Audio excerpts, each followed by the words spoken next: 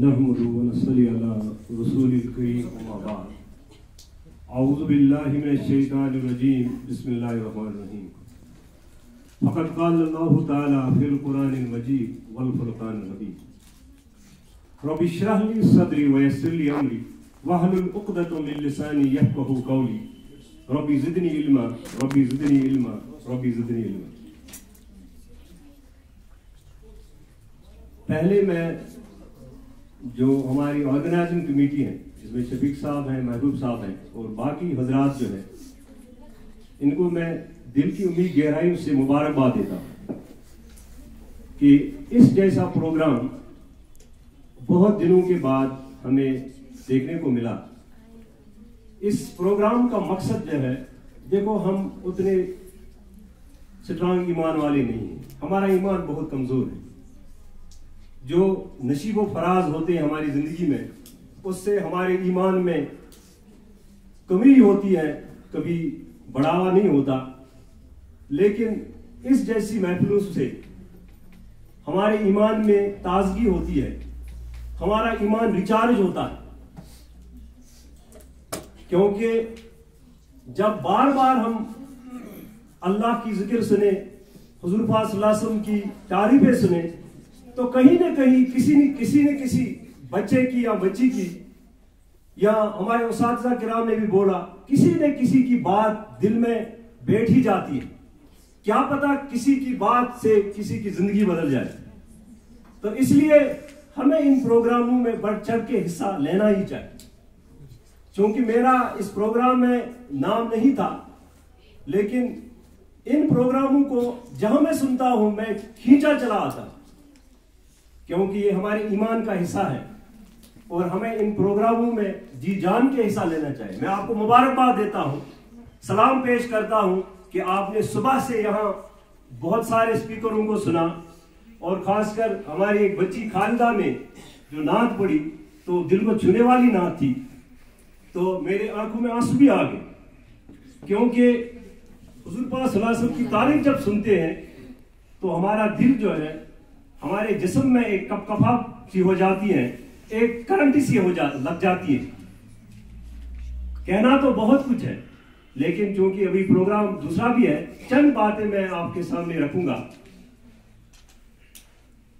देखो, ईमान के बहुत सारे शोबे हैं, और सबसे बड़ा शोबा जो है, वो है कि खुदा जो है वहदुल्ला शरीफ अल्लाह के सिवा कोई माबूद नहीं।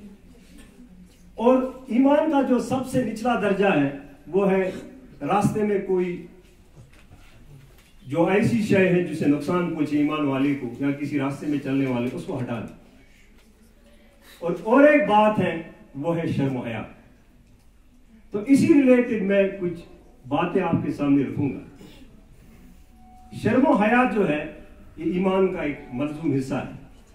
कहते हैं कि जिसको शर्म हया नहीं, उसको ईमान नहीं।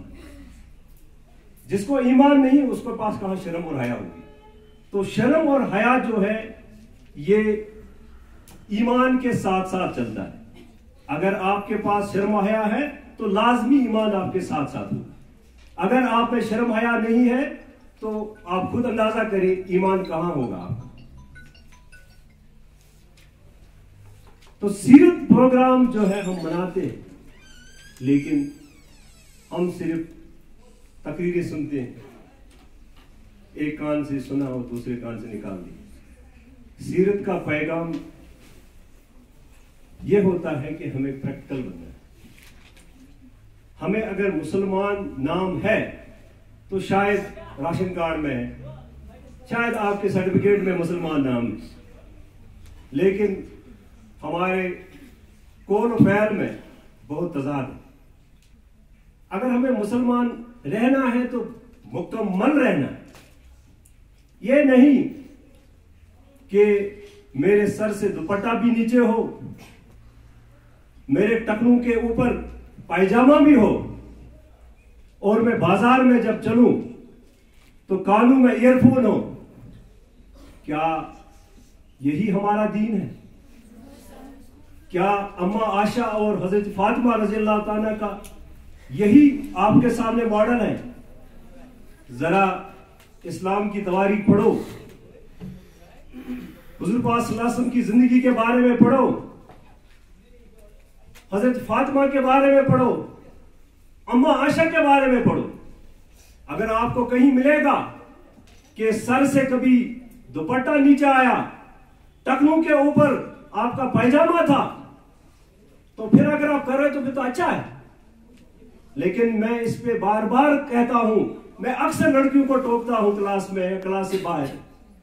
तो रियाज साहब, इसका गवाह है कि जिन लड़कियों के टकरों के ऊपर पायजामा होता था, मैं उनको रोकता था, उनको प्यार से समझाता था। लेकिन माशाल्लाह, बहुत सारी लड़कियों ने उस पर पाबंदी से अब काम करना शुरू कर दिया है। आज मैं देख रहा हूँ कि बहुत चेंज आ चुकी है हमारे इस इदारे में। देखो, अगर हम नहीं कहेंगे तो कौन कहेगा? कल आपका हाथ होगा और मेरा गरेबा होगा, कयामत के मैदान में। आप मुझे कहोगे कि यह हमारा उस्ताद था, इसने हमें नहीं रोका। इसके पास सलाहियत थी, यह हमें रोक सकता था, लेकिन इसने हमें नहीं रोका। तो मेरा जवाब क्या होगा?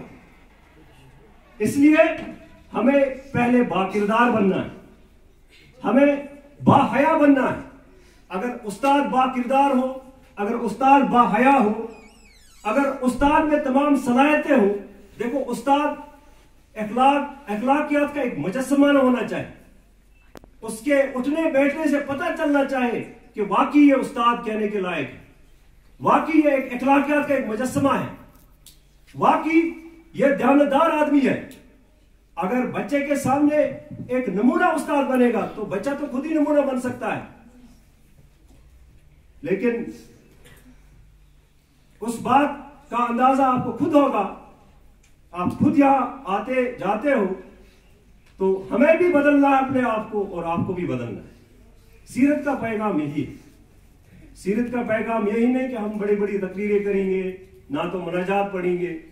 देखो, सीरत का यही दो टोक में प्रोग्राम जो हमने यहाँ, इसका यही पैगाम है। हमें प्रैक्टिकल बनना है। हमें ने जो सुना उस पर अमल करना है।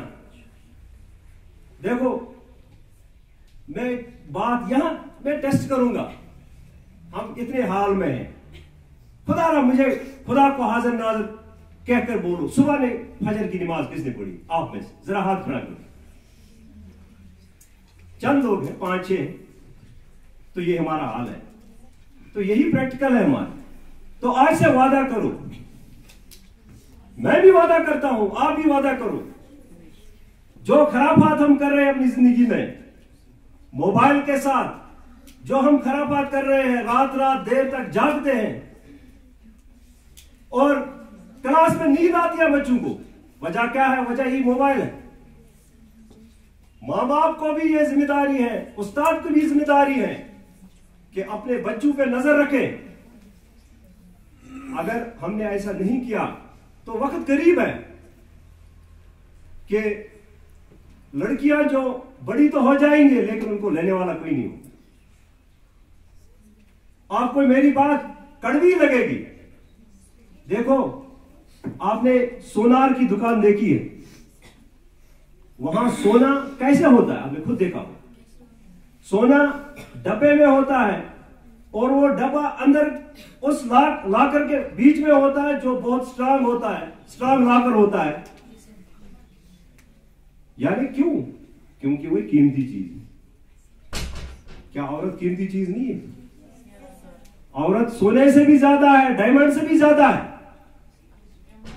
ये आलू प्याज नहीं है जो पटरी पे रखते हैं हम। उसकी कोई कदर कीमत नहीं होती है। और अगर आपने पर्दा नहीं किया, आपने दुपट्टा अपने शालों पे रखा, आपने टकलों से ऊपर पायजामा रखा। खुदा गवाह, लोग इसको नहीं देखते। लोग सीरत को देखते सूरत को कोई नहीं देखता है।